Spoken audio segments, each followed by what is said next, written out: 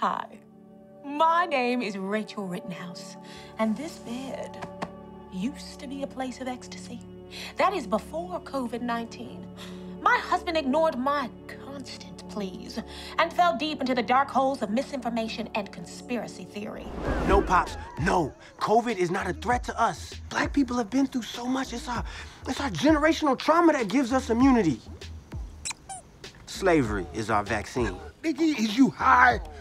Our asses be rolling over in their graves right now. Well, you'll be rolling over in yours if you don't stay away from these power lines. It's the government using that 5G nanotech to track and kill us all. Population control. Uh-huh. But you know what? What? I, I am prepared. Blocks the radiation. Those dark cellars of stupidity have cost my vagina dearly. And so, in an effort to save coochies everywhere, I have founded Women Against Limp Lifeless Dick, or WALLD, a nonprofit organization. Many of you have experienced the horrific symptoms that come from contracting COVID 19, like lack of smell, I can't smell the muffins, Karen. I can't smell the goddamn muffins. lack of taste, Tomas Martinez. Hmm. Why are you sucking on those pliers? Thought I was sucking on a pork chop. It's not a pork chop. Put it back. or even death. I still can't believe my stepmom didn't want to wear a mask or take the vaccine. Now she's one of the millions to die from COVID. It's one of my favorite pictures of him. Look, man, you do know that COVID is a hoax, right? I mean, that shit ain't real, man. What? You're literally at my stepmom's wake. Look, man, I only came because both me and your mom believe the earth is flat. We kindred spirits, man. Plus, I thought I'd get to meet Kyrie Irving. Yeah, man. They used to ball together. Our mission here at WALLD is to bring awareness to the hard truth that doesn't get talked about very much in this world built to protect the male ego.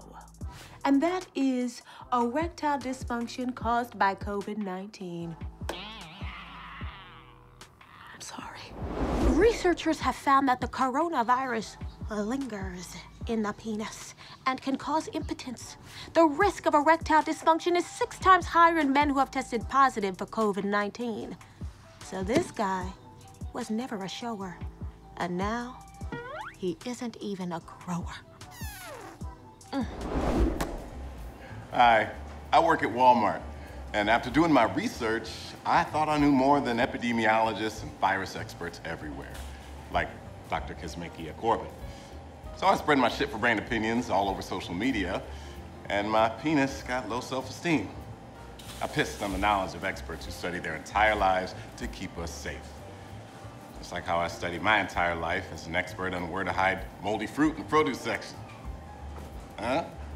Oh, Jimmy, Jimmy, now we want the poor people to buy the moldy fruit. Yeah. He's still learning. Wait, why am I holding this football?